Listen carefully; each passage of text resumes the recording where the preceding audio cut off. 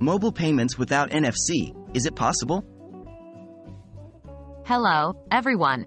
Today we're going to be talking about mobile payments and, specifically, whether or not it's possible to make mobile payments even if your phone doesn't support NFC. So, if you've ever wondered about this, stick around. What is NFC? First things first, let's define what NFC is. NFC, or Near Field Communication, is a set of communication protocols that allows two electronic devices, one of which is usually a portable device such as a smartphone, to establish communication by bringing them within 4 centimeters of each other. Why is NFC important for mobile payments?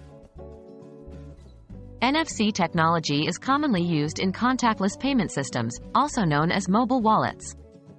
It allows the transfer of data between your phone and a payment terminal, making it possible to pay simply by tapping your phone. This is the technology behind services like Apple Pay and Google Wallet. Can I make mobile payments without NFC? Yes, you can. If your phone doesn't support NFC, don't worry, there are several alternatives to NFC-based mobile payments. Here are a few. 1. QR codes. Many mobile payment apps use QR codes for transactions. The payment terminal displays a QR code. You scan it with your phone's camera using the app, and then confirm the payment. 2. Online payment apps. There are also plenty of apps that facilitate online transactions.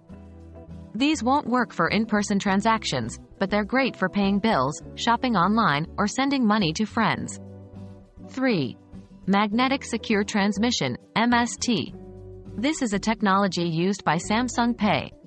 MST replicates a card swipe by transmitting magnetic waves from the supported Samsung device to the payment terminal's card reader. However, MST only works with terminals that have a magnetic card reader. In conclusion, even if your phone does not support NFC, you can still make mobile payments. There are many methods available, from QR codes to online payment apps, that can make this possible.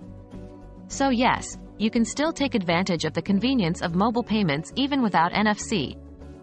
I hope this video has been helpful. Thanks for watching.